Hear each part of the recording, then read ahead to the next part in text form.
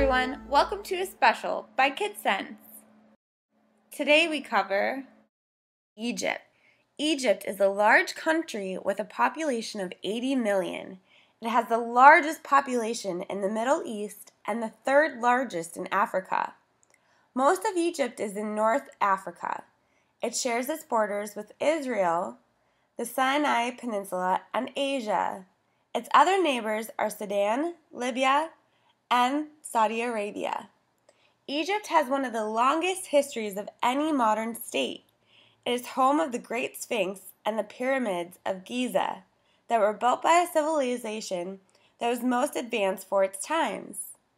In more recent times, it has been ruled by Hosni Mubarak for nearly 30 years until February of 2011.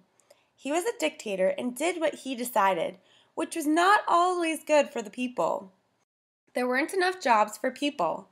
Food and housing prices were very high. The people weren't very happy with President Mubarak. In January 2011, the people protested till it finally forced Mubarak to resign. The army took over and temporarily led the governing of Egypt till Egyptians demanded the military leaders to speed things up. Mohamed Morsi was finally elected by the people to be the president of Egypt in June 2012. Unfortunately, Mohamed Morsi decided to give himself unlimited powers in November of 2012. This led to renewed dissatisfaction in the people of Egypt. Once again, huge protests were held in Cairo, the capital of Egypt, demanding that Morsi address the people's issues or step down.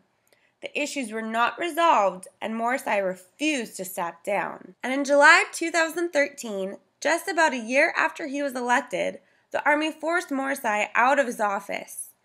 There continued to be protests between the supporters and opposers of Morsi even after he was removed from office. Now, once again, Egypt is being led by a temporary government set up by the army until elections are held.